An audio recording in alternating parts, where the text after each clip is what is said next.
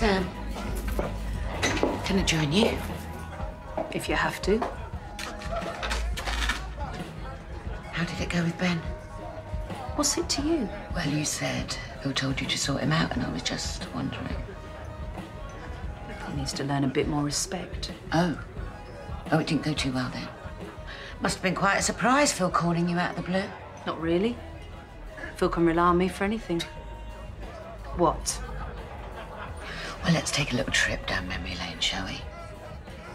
Phil entrusts you with his business, and you burn half of it and sell the rest. I'm surprised he trusts you with a box of tissues, let alone dealing with Ben. What's going on with you and Phil, eh?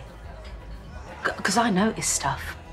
And you and Kat had way different reactions to Phil calling me back in. You know what Ben's done, don't you? I stopped caring about Ben when I divorced Phil. And what about caring for Phil? Are you having conjugals behind Kat's back? Don't be disgusting. Oh, I'll tell you what's disgusting, shall I? I mean, how about you? Sleeping with one brother one night and the other the you next. You should be locked up for what you did to my dad. Oh, God, yes. Den, the great romancer. Now, I tell you who was a good lover. Dennis. Now, he made me feel like I was the most important woman in the world.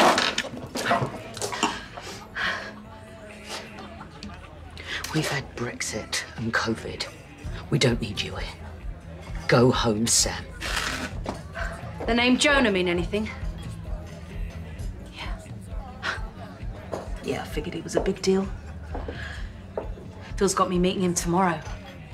You sure he said Jonah? He's a serious player. Shows you how much faith he's got in me. Ben deals with Jonah. No, not anymore. I'm going nowhere, love. So you better start playing nice. I know a bitch with a secret when I see one. Something you should know about me, sweetheart. I don't play so nice these days. Cross me, and I will put you down.